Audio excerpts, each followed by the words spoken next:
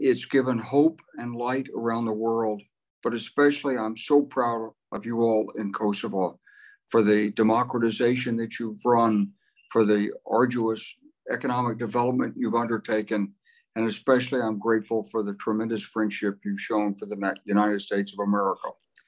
And uh, for me, it was the honor of a lifetime to be able to be the NATO commander and to help stop ethnic cleansing.